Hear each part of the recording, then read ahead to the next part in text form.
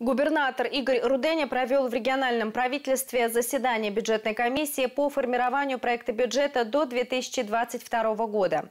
В частности, были рассмотрены обоснования расходов на реализацию государственной программы развития туристской индустрии в Тверской области до 2023 года. О деталях совещания выяснила наш корреспондент Ирина Синягина. Передаю ей слово.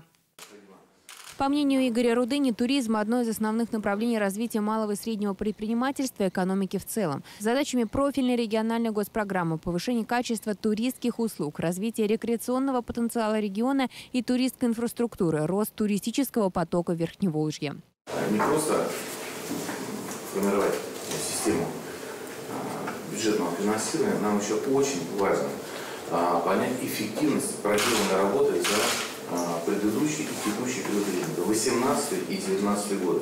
По данным областного министерства туризма, за весенне-летний сезон турпоток в Тверской области увеличился почти на 9%. За этот период 2018 года регион посетили 877 тысяч человек. В текущем году 954 тысячи. До 2023 года планируется практически вдвое увеличить туристический поток Верхневолжья до 2 миллионов 600 тысяч человек в год.